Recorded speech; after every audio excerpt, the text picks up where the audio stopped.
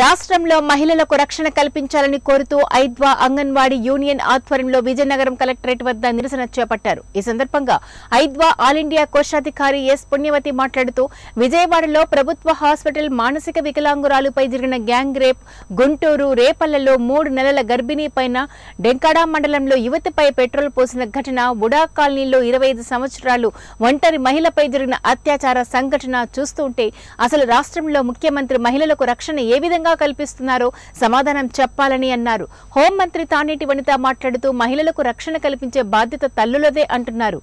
ఇది సరైనది కాదు. ప్రభుత్వం తన బాధ్యతల నుండి తప్పుకొని చేతులు దులుపుకోవడం అన్యాయమని అన్నారు. మద్యం డ్రగ్స్ నీలి చిత్రాలను నిషేధించాలని వర్మ సిఫార్సులను అమలుపరిచి మహిళలకు రక్షణ కల్పించి బాధిత కుటుంబాలకు అన్ని విధాల ఆదుకోవాలని డిమాండ్ చేశారు.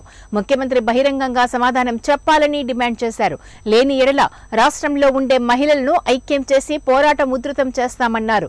దిశ చట్టంతోనే మహిళల సమస్యలన్నీ పరిష్కారమవుతాయని రాష్ట్ర ప్రభుత్వం భావిస్తే పొరపాటు. మహిళల రక్షణ కోసం చాలా చట్టాలు ఉన్నాయి. ఉన్న చట్టాలు సక్రమంగా అమలు చేయకపోవడం వల్లే మహిళలు నష్టపోతున్నారని ఆవేదన చెందారు.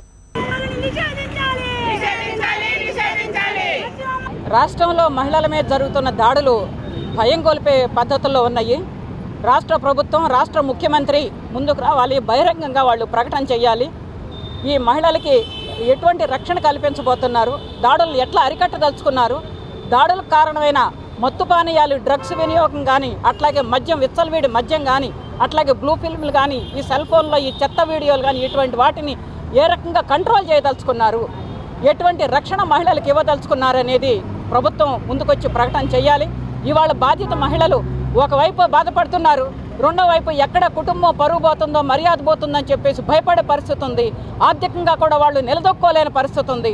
కాబట్టి వాళ్ళకి అవసరమైన సహాయం ఎమోషనల్గా కానీ మోరల్గా కానీ ఆర్థిక పరంగా కానీ వాళ్ళకి వైద్య సహాయం కానీ అట్లాగే వాళ్ళకి ఏదన్నా పని అవసరమైన